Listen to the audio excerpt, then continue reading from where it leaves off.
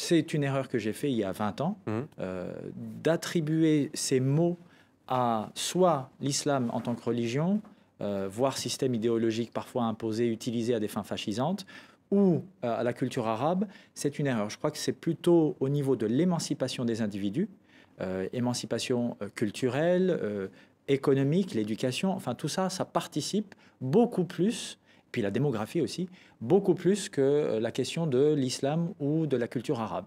Qui, culture arabe en, en tant que telle, il y a 200 ans, c'était tout l'inverse, beaucoup plus de liberté sexuelle, euh, chez les élites, mais aussi euh, parmi le peuple, euh, de l'autre côté de la Méditerranée, avec des écrits historiques de certains intellectuels qui, lorsqu'ils allaient de l'autre côté de la Méditerranée chez les musulmans, Mhm. allaient soit pour se dévergonder, soit lorsqu'il s'agissait d'hommes d'église, de femmes d'église, pour critiquer les Mahométans, les musulmans qui étaient des pervers finis, selon eux.